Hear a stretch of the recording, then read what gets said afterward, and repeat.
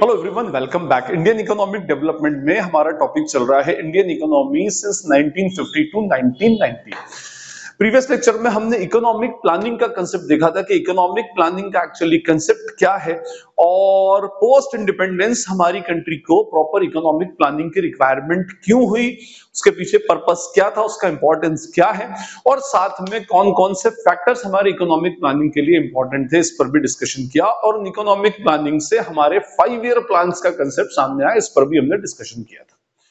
अब इस लेक्चर में हम बात करेंगे about the goals of five year plans कि पाँच साल, जो फाइव ईयर प्लान्स हमारी कंट्री के अंदर बने, जो फ़र्स्ट अप्रैल 1951 से इंप्लीमेंट हुआ था तो और उसके बाद जो भी हमारे यहाँ पर 12 फाइव ईयर प्लान्स बने तो वो 12 फाइव ईयर प्लान्स के एक्चुअली गोल्स उनके ऑब्जेक्टिव्स उनके टारगेट उनके एम एक्चुअली क्या थे?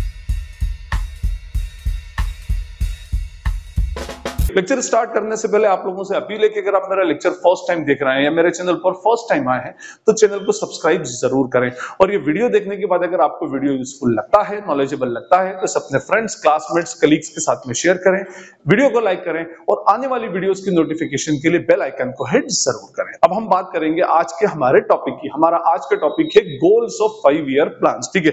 देखिए goals of five year plan में पहले तो फाइव ईयर प्लान की बात करें। प्रीवियस लेक्चर में बता चुका हूँ कि हमारी कंट्री को पोस्ट इंडिपेंडेंस इकोनॉमिक प्लानिंग की रिक्वायरमेंट थी। और इकोनॉमिक प्लानिंग क्यों? क्योंकि हमें क्या करना था? ग्रो भी करना था, हमारी इकोनॉमी को ग्रो भी करना था और साथ में ह्यूमन वेलफेयर या सोशल वेलफेयर के ऑब्जेक्टिव को भी अचीव करना था। तो उसके लिए हमारे यहाँ पर इकोनॉमिक प्लानिंग की गई और इकोनॉमिक प्लानिंग के अंदर हमने फाइव ईयर प्लान को अडॉप्ट किया। पाँच पाँच साल के हमने प्लान बनाए और उनके कुछ गोल्स उनके कुछ ऑब्जेक्टिव्स हमने सेट किए। पाँच पाँच साल के पीरियड के लिए हमने प्लान बनाना स्टार्ट किए, ठीक है? ये first five year plan implement हुआ था फ़र्स्ट अप्रैल 1951 से, और इसके पाँच साल देखें तो थर्टी फ़र्स्ट मार्च 1956 तक रहा। 51 टू 56 का फाइव ईयर प्लान था। उसके बाद में फिर different different five year plan आना स्टार्ट हो गए। अच्छा बीच में कुछ ऐसा भी रहा जहाँ पर फाइव ईयर प्लान डिसकंटिन्यू हुए और वहाँ पर वन ईयर प्लान या ईयरली प्लान भी बीच बीच में आए तीन या चार बार, ठीक है? और लास्ट हमारे यहाँ फाइव ईयर प्लान आया 12 टू 17 फ़र्स्ट अप्रैल 2012 से 31 मार्च 17 तक फाइव ईयर प्लान आया।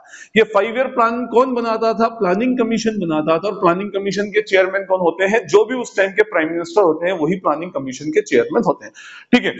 फिर उसके बाद फ़र्स्ट अप्रैल 15 को फ़र्स्ट जनवरी 15 को प्लानिंग कमीशन को डिसॉल्व कर दिया गया और उसकी जगह पर नीति आयोग का उसको प्लानिंग कमीशन को नीति आयोग से रिप्लेस कर दिया गया। फाइन एनीवे anyway, तो ये हमारे फाइव ईयर प्लान का कंसेप्ट है ठीक है? मैंने आपको क्या कंडीशन थी हमारी कंट्री की ये मैं आपको ऑलरेडी प्रीवियस लेक्चर में बता चुका हूँ। अगर देखना इकोनॉमिक प्लानिंग का कंसेप्ट क्या है तो प्रीवियस लेक्चर को ज़रूर देखें। पूरे चैप्टर की प्लेलिस्ट के लिंक नीचे डिस्क्रिप्शन बॉक्स में है। ऊपर आई बटन भी आ रहा होगा। आप कहीं से भी चाहें तो उसको फॉलो कर सकते हैं। ठीक है। तो मैंने ये बताया था कि जो हमारे फाइव ईयर प्लान हैं, ये हमारी कंट्री में, हमारी कंट्री के इकोनॉमिक डेवलपमेंट को और सोशल वेलफेयर के लिए अडॉप्ट किए गए। इनके गोल्स होते थे। देखिए, सब, हर फाइव ईयर प्लान के कुछ अलग अलग टारगेट्स थे। किसी में एग्रीकल्चरल सेक्टर को ग्रो करना था, किसी में इंडस्ट्रियल सेक्टर को डेवलप करना था, किसी में कुछ करना था, लेकिन कुछ मेन चार, पाँच, चार गोल्स जो थे, वो उसके कॉमन थे। हमारी कंट्री में पोस्ट इंडिपेंडेंस हमें चार गोल को अचीव करना था। और अगर हमने इन चार गोल को अचीव कर लिया था, कर लिया मतलब हमने जब ये बनाया कि भाई 1951 के बाद में ये बोला गया कि चार गोल अगर अचीव हो गए तो हमारी कंट्री प्रोग्रेसिव कंट्री के अंदर आ जाएगी। मींस इकोनॉमिक डेवलपमेंट भी हो जाएगा और सोशल वेयर का जो वेलफेयर का जो पर्पस है, वो भी हमारा सॉल्व हो जाएगा। अब वो जो चार गोल्स थे, देखिए फ़र्स्ट गोल जो था दैट इज़ वॉट ग्रोथ ठीक है? फ़र्स्ट गोल जो था ग्रोथ था। सेकंड जो था, हमारा इक्विटी ठीक है third goal is modernization and fourth goal is what self reliance ठीक है सेल्फ रिलायंस हम इसको बोलते हैं। ठीक है, ये हमारा हो गया growth represented by G equity represented by E M and what S तो आप इसको इस तरह से याद रखते हैं जेम्स ठीक है ना? Growth equity modernization and self reliance इसको ऐसे याद रखेंगे तो आपको याद रहेगा, ठीक है? हमारे ये चार गोल्स थे जो हमें फाइव ईयर प्लान से अचीव करने थे। मींस इन्हीं चार गोल्स को हमने टारगेट करा हमारे जितने भी फाइव ईयर प्लान थे, चाहे वो फ़र्स्ट फाइव ईयर प्लान हो, चाहे वो हमारा ट्वेल्थ फाइव ईयर प्लान हाँ। ये बात अलग अलग है। कि अलग अलग फाइबर प्लांट्स में हमने अलग अलग टारगेट्स लेना स्टार्ट किए। एनीवे anyway, चलिए अब हम बात करेंगे ये एक्चुअली है क्या। सबसे पहले अगर हम बात करेंगे तो ग्रोथ की तो देखिए ग्रोथ का जो कंसेप्ट है ये हमारी कंपनी की कैपेसिटी हमारी कंपनी बोल रहा हूँ सॉरी हमारी कंट्री की गुड्स एंड सर्विसेज़ के प्रोडक्शन की कैपेसिटी को बढ़ाना। That is called as growth वो हमारा क्या कहलाया? ग्रोथ कहलाया। उसको हम ग्रोथ कहें। हमारी कंपनी हमारी कंट्री के अंदर जितनी भी गुड्स एंड सर्विसेज़ प्रोड्यूस हो रही हैं, उन गुड्स एंड सर्विसेज़ के प्रोडक्शन की कैपेसिटी को बढ़ाना। देखिए, अगर हमारी कंट्री में गुड्स एंड सर्विसेज़ की प्रोडक्शन कैपेसिटी बढ़ेगी तो नेचुरली हमारी कंट्री में फर्दर क्या आएगा? इन्वेस्टमेंट आएगा, ठीक है? और इन्वेस्टमेंट बढ़ेगा प्रोडक्शन कैपेसिटी इन्वेस्टमेंट आने से क्या बढ़ेगी? हमारी कंट्री की प्रोडक्शन कैपेसिटी बढ़ेगी। प्रोडक्शन कैपेसिटी जब बढ़ेगी तो गुड्स एंड सर्विसेज़ को प्रोड्यूस करने के लिए हमारे यहाँ पर रेगुलर वर्कर्स की रिक्वायरमेंट होगी। तो इससे क्या होगा? हमारी कंट्री का एम्प्लॉयमेंट बढ़ेगा। और जब एम्प्लॉयमेंट बढ़ेगा तो लोगों की अर्न की हुई इनकम बढ़ेगी। इनकम बढ़ेगी तो उनका स्टैंडर्ड ऑफ़ लिविंग बढ़ेगा स्टैंडर्ड ऑफ़ लिविंग बढ़ेगा तो एक्सपेंडिचर बढ़ेगा। और नेचुरली जब एक्सपेंडिचर बढ़ेगा तो हम और further goods and services produce करेंगे।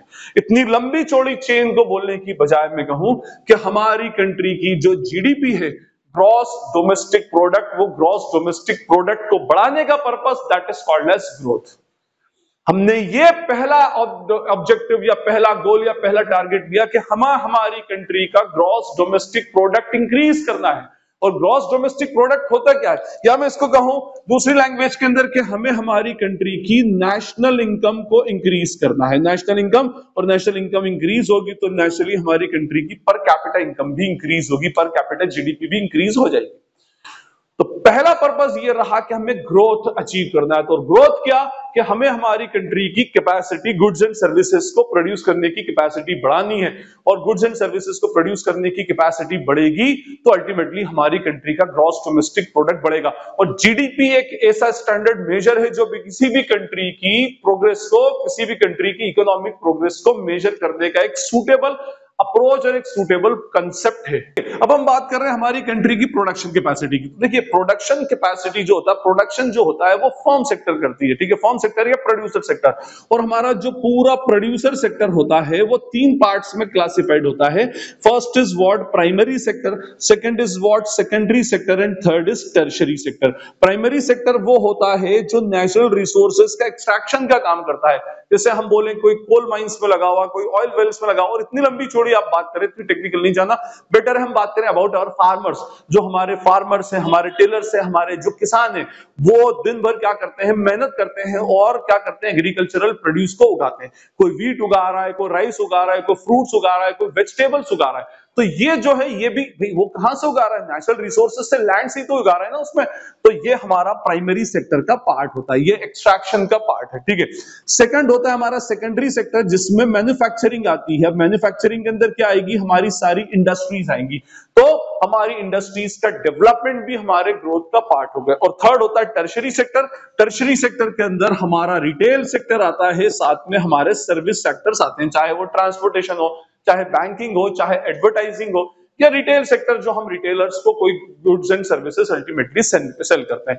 तो एक्चुअली हमारा जो ये ग्रोथ का कंसेप्ट था, वो तीनों सेक्टर के ऊपर टारगेट करके चला के भाई हमें हमारे प्राइमरी सेक्टर के साथ साथ सेकेंडरी और टर्शरी सेक्टर को भी क्या करना है अल्टीमेटली डेवलप करना है। और भाई, हम ये बात तो जानते हैं अच्छे से कि 1947 के टाइम पर हमारी कंट्री की एक स्टेगनेंट इकोनॉमी थी मींस उसके अंदर ग्रोथ कुछ नहीं था।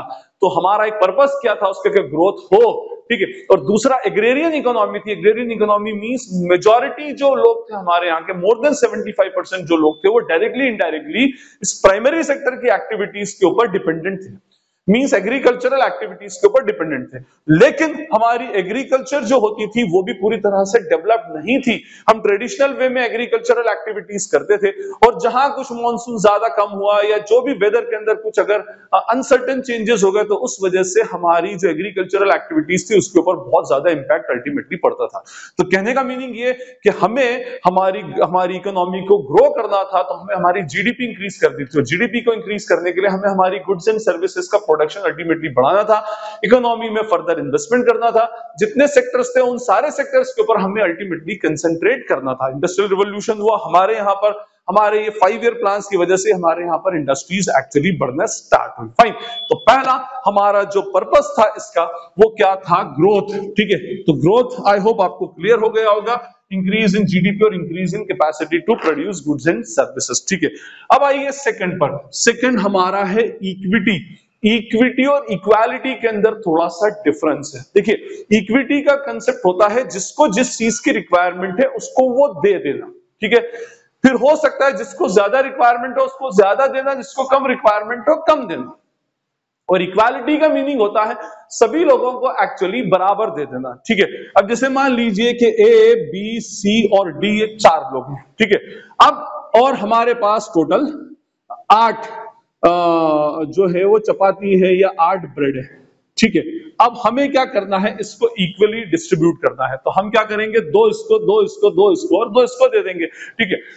अब, लेकिन हमें ये नहीं मालूम। ए ने कहा कि भाई मेरा पेट भरा हुआ है। मेरा तो बिल्कुल खाने का दिल भी नहीं है, लेकिन फिर भी इसको दो ब्रेड दी जा रही है। और डी जो है वो पिछले दो दिन से भूखा है तो इसको भी दो ब्रेड दी जा रही है। तो ये इक्वालिटी तो है नो डाउट रिसोर्स सबको बराबर बांट देना दैट इज़ इक्वालिटी लेकिन इस इक्वालिटी से सोशल जस्टिस नहीं हो पा सोशल जस्टिस क्यों नहीं हो पा रहा कि वो बंदा जो बेचारा दो दिन से भूखा है, उसको भी आप उतनी ही ब्रेड दे रहे हो जितनी एक बंदा जिसके पास ऑलरेडी रिसोर्सेस है और जिसका पेट भरा हुआ है, उन दोनों के रिसोर्सेस को आप इक्वली डिस्ट्रीब्यूट कर रहे हो।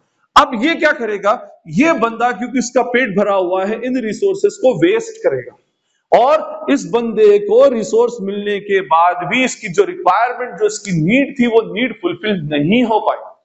तो दिस इज़ इक्वालिटी बट हम बात कर रहे हैं अबाउट द इक्विटी इक्विटी का मीनिंग होगा कि भाई हर एक सेक्टर जितने भी हमारे यहाँ के सेक्ट है, जितने भी हमारी कंट्री में अलग अलग सेक्शन है सोसाइटी के, जितने भी सेक्शन ऑफ़ सोसाइटी हैं, उनको जो भी उनकी बेसिक रिक्वायरमेंट्स है उन बेसिक रिक्वायरमेंट्स का उनको प्रोवाइड कर दिया जाए। That is called as equity भाई, हमारी क्या बेसिक रिक्वायरमेंट्स है? हमारी बेसिक रिक्वायरमेंट है अच्छी एजुकेशन ठीक है? या बेसिक एजुकेशन ही बोल लो, चलो बहुत अच्छी एजुकेशन नहीं हमें क्या मिलना चाहिए? हेल्थ सर्विसेज़ मिलना चाहिए। हमें बेसिक फ़ूड मिलना चाहिए। हमारे पास एक शेल्टर हो और हमें प्रॉपर क्लोथिंग एक्चुअली मिल जाए, ठीक है? ये अगर किसी इंसान को मिल रहा है तो बेसिकली उसके साथ में इक्विटी होगी। तो हमारा इस फाइव ईयर प्लान का एक गोल ये था कि हर इंसान, चाहे वो किसी भी सोसाइटी के किसी भी सेक्शन को बिलोंग करता है, हर बंदे के साथ इक्विटी हो और उसकी जो भी बेसिक रिक्वायरमेंट्स हो, वो बेसिक रिक्वायरमेंट गवर्नमेंट की तरफ़ से फुलफिल हो, ये अपने आप का एक सोशल वेलफेयर था, जिससे लोगों की सोसाइटी का वेलफेयर हमारा इंप्रूव हुआ। तो इक्विटी का बेसिक पर्पज क्या हुआ? लोगों का स्टैंडर्ड ऑफ़ लिविंग इंक्रीज करना और सबसे इंपॉर्टेंट चीज़ उनको सोशल जस्टिस प्रोवाइड करना। सोशल जस्टिस का मीनिंग ही क्या होगा? इक्विटी होगा। सोशल जस्टिस मीन सोसाइटी में वो एक्सेप्टेबल हो जाए तो वो बेसिकली हमारा कहलाता है इक्विटी मीन चाहे वो मार्जिनलाइज मार्जिनलाइज्ड सेक्टर हो या इंप्रूव सेक्टर हो या बहुत ही ज़्यादा डेवलप्ड सेक्टर हो, हर सेक्टर को उसकी नीड के अकॉर्डिंगली लोगों को चीज़ें प्रोवाइड करना। देखिए, जो लोग जिनके पास रिसोर्सेस ऑलरेडी है तो उनके साथ तो ये कोई बहुत बड़ा क्वेश्चन या बहुत बड़ी प्रॉब्लम एक्चुअली नहीं है। लेकिन प्रॉब्लम किन लोगों के साथ में आती है, जिन लोगों के पास रिसोर्सेस नहीं है? और मैं आपको बता चुका हूँ 1947 में जब ब्रिटिशर्स इंडिया छोड़कर गए और हमको इस पूरी कंट्री का चार्ज देकर गए तो हमारी इकोनॉमी की हालत खराब कर चुके थे और हमारी इकोनॉमी में एक वाइड स्प्रेड पावर्टी थी। मींस हमारे यहाँ के मेजॉरिटी पीपल जो थे, वो बहुत गरीब हुआ करते थे और हमारी जीडीपी पर कैपिटा और पर कैपिटा इनकम भी अल्टीमेटली बहुत ही कम हुआ करती थर्ड गोल हमारा है मॉडर्नाइजेशन अब इसको तो नाम से आपको समझ में आता है कि यूज़ ऑफ़ मॉडर्न टेक्नोलॉजी ठीक है? मैंने आपको बताया था कि 1950 1947 के अराउंड हमारी पूरी कंट्री में मेजोरिटी पॉपुलेशन जो थी वो एग्रीकल्चरल एक्टिविटीज़ के ऊपर बेस्ड थी। चलिए उसी के ऊपर बेस मान लेते हैं। लेकिन कम से कम उसमें तो कुछ ना कुछ डेवलपमेंट होता, लेकिन वहाँ पर भी एक प्रॉब्लम थी। क्योंकि ब्रिटिशर्स ने हमेशा हमारी कंट्री में उतना ही डेवलपमेंट किया जितना उन लोगों की रिक्वायरमेंट के हिसाब से सूटेबल था, उनके लिए फ्रूटफुल था। उनको इंडिया के लोगों से कोई इंडिया के स्टैंडर्ड ऑफ़ लिविंग यहाँ के लोगों के स्टैंडर्ड ऑफ़ लिविंग से कोई मतलब एक्चुअली नहीं था।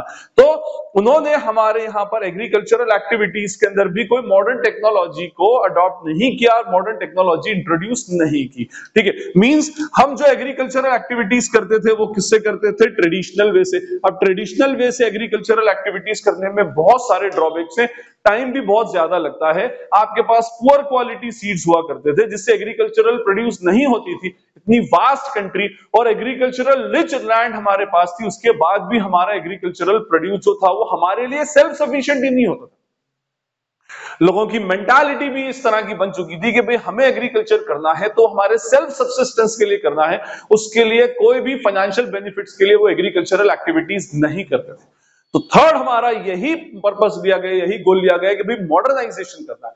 और इस मॉडर्नाइजेशन के अंदर हमको क्या करना है इसमें कि हमें एडवांस्ड टेक्नोलॉजी जो मॉडर्न टेक्नोलॉजी है, उसको यूज़ करना है।